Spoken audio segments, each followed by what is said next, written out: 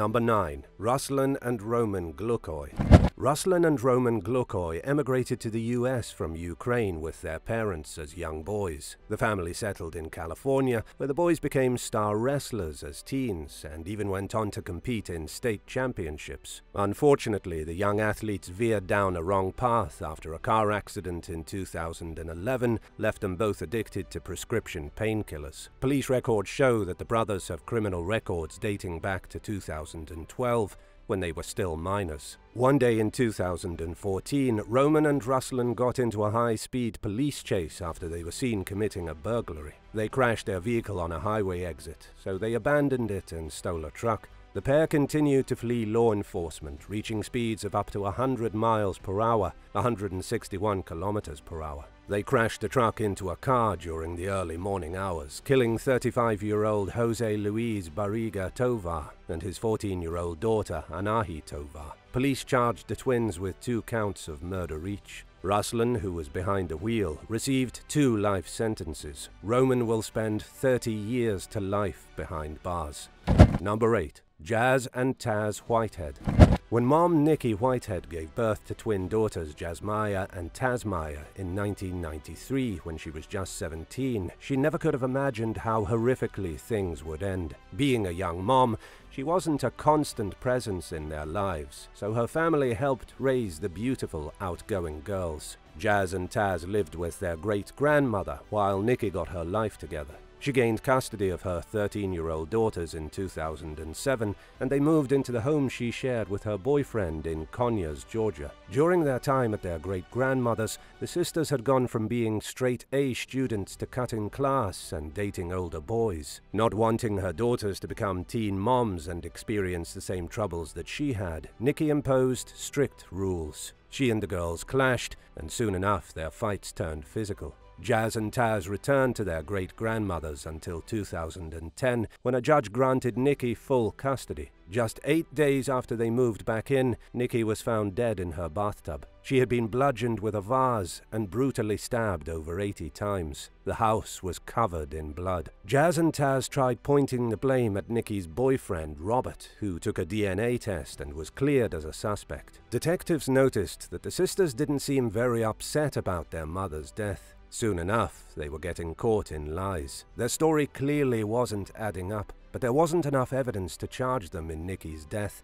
so they returned to their great-grandmothers and lived as if nothing had happened. Months later, a mold of Nikki's teeth was matched to a bite mark on one of the girls. It was enough to charge them with murder. They both took plea deals in exchange for a 30-year sentence each. As a condition of their pleas, they had to confess to killing Nikki. Jazz and Taz revealed that they had been plotting to murder their mother for quite some time. They even kept a journal dedicated to how much they hated her and wanted her dead. Nikki only wanted the best for her daughters. She paid for it with her life when they got mad at her for telling them to get out of bed that morning and decided to carry out their sick plot to eliminate her from the picture.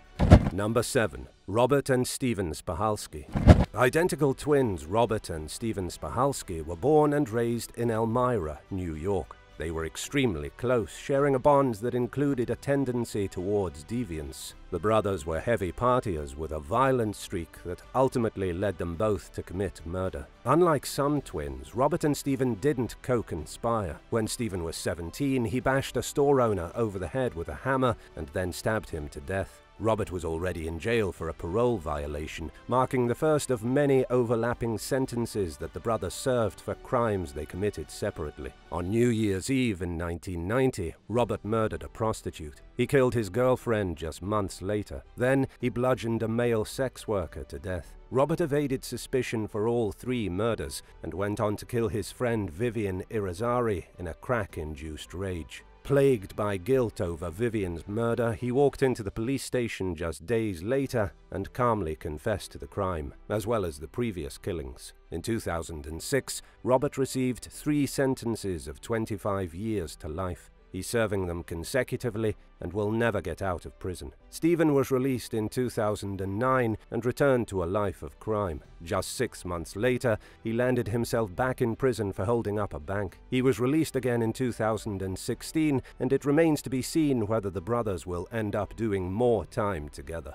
Number 6. Daniel and David DeWild. During the summer of 2003, a young mother named Heather DeWild disappeared in Golden, Colorado. Her family immediately pointed the finger at her soon to be ex husband, Daniel. The couple were just days away from finalizing their divorce, and the process had been nothing short of contentious. Heather was last seen alive at Dan's home. He told police that she had left their kids with him to go shopping. His story seemed suspicious, but police didn't have enough evidence to charge him in her disappearance. They continued to investigate, and in the meantime, Dan's twin brother David, who was also a suspect, moved in to help out with the bills. Heather's remains were found a month after she vanished. It was clear that she had been murdered, but detectives still couldn't link Daniel to the crime. The investigation continued to lag, and Heather's family began to wonder if she would ever get justice. It was clear to police that Daniel was more stubborn and controlling than David, so they focused on trying to get David to crack under pressure. It worked. He told investigators that Dan was sick of paying child support and had been plotting to kill Heather for some time. David admitted to being there when Daniel killed Heather and helping his twin brother to dispose of his estranged wife's remains. Daniel is serving a 74 year sentence, and David received 12 years. Number 5. Doris and Yvette Gay.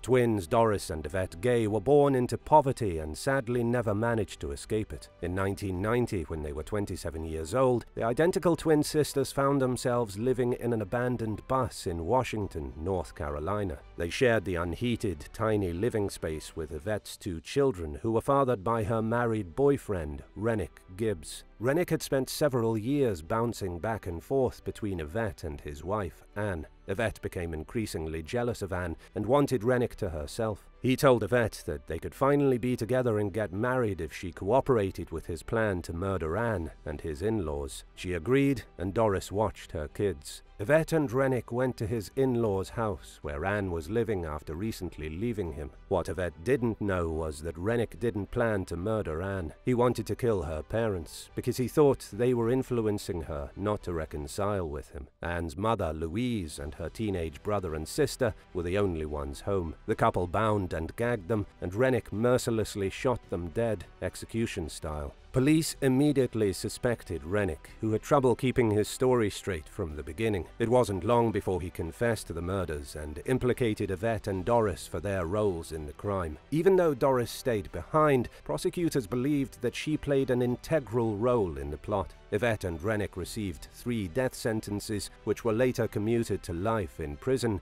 and Doris received three life sentences. Number 4. Jerome and Tyrone Page. 15 year old Amanda Lee Hall ran away from her home in Baltimore in 1993 after getting into a fight with her boyfriend. After staying with various friends, she sought refuge at a local recreation center where she slept in an outdoor area. It was there that she encountered twins Jerome and Tyrone Page, who were drinking and using cocaine. The brothers had long rap sheets and had both done time years earlier for watching a gang rape. Not surprisingly, Amanda turned up dead after crossing paths with the twins. Her body was found along an old road, and an autopsy determined that she had been raped and strangled to death. Because identical twins have the same exact DNA, detectives had a tough time determining what role each brother played in the crime. Jerome admitted to raping and sodomizing Amanda and took the blame for the murder, even though prosecutors believed that Tyrone was the brother that actually killed her. He received a life sentence. Tyrone's defense lawyer argued that he was the more innocent and mild mannered twin, and that Jerome had influenced him to participate in the crime. But the judge didn't buy the good versus evil twin argument and also sentenced him to life. What do you think? Was one twin responsible or both? Let us know your theories in the comments below, and don't forget to like and subscribe for more chilling content. Number 3. Betty Wilson and Peggy Lowe. Jack Wilson was an ophthalmologist and a well liked community member who lived in Huntsville, Alabama. He arrived home one day in 1998 to an intruder in the house who beat him with a baseball bat and stabbed him to death. At first, locals assumed that Wilson was the victim of a burglary gone wrong. Police later traced the crime to a carpenter named James White, who lived 150 miles, 241 kilometers away. He told detectives that the doctor's wife, Betty Wilson, along with her twin sister, Peggy Lowe, had hired him to kill Jack. White received several thousand dollars to carry out the hit, but said that he wasn't in it for the money. He was in love with Peggy, who was married, and made a sarcastic comment one day about how he could arrange for something terrible to happen to her husband. Peggy allegedly responded by saying that her twin sister needed someone to kill Jack. Betty denied having anything to do with her husband's death and said that the couple got along fine. Locals told a much different story, claiming that Betty was having numerous affairs. She supposedly even bragged about how smart she was for getting away with her double life, while Jack spoiled her courtesy of his six-figure salary. Peggy, on the other hand, received plenty of sympathy. Her church friends even raised money to pay her a $150,000 bail. She denied having a romantic relationship with White. Her lawyer painted him out as crazy, citing his lengthy history of psychiatric hospitalizations. White and Betty received life sentences, and Peggy was acquitted. She claimed that both she and Betty were innocent and that her sister was falsely convicted. Betty is still in prison but continues to maintain her innocence as her loved ones fight to get her released. Number 2. Dante and Dante Hall. In 2006, an erotic dancer named Angel Glenn was hired to dance at a house party in Eustis, Florida. While there, she called her boyfriend Dante Hall to tell him that there were valuables in the house and where to find them. Dante and his twin brother Dante showed up at the house with guns and shot out the lights. They continued firing bullets as partygoers got on the ground and began handing their jewelry over. Two men were shot dead, while numerous others were injured. After the robbery, Dante told Angel that he was upset about how the robbery went because he didn't get as many valuables as he thought he would. Days later, police caught Angel pawning some of the stolen jewelry and arrested her. She and another dancer who were at the party opened up about what happened and agreed to testify against the twin brothers. A jury convicted Dante for both murders, although many believed that Dante may have fired one of the fatal shots. Dante received a death penalty, but the sentence was thrown out and he is awaiting his resentencing. Dante is serving a life sentence. Number 1. The Borkum Twins.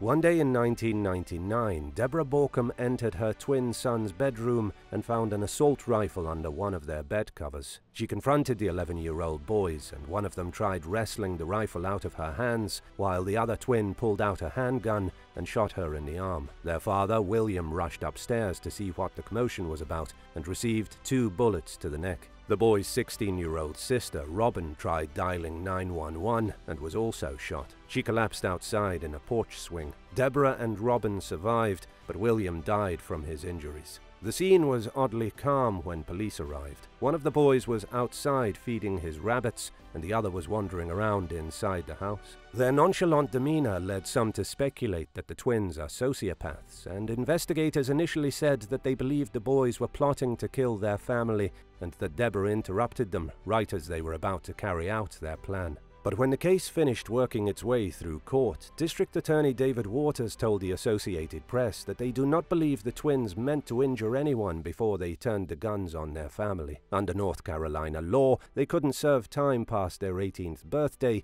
and their records would be wiped clean at that time. The boys were sentenced to six years in a juvenile detention facility. Their reasons for shooting their family remain a mystery. Thanks for watching. If you enjoyed today's video, be sure to subscribe for more true crime, and let me know what cases you would like to hear more about in the comments below.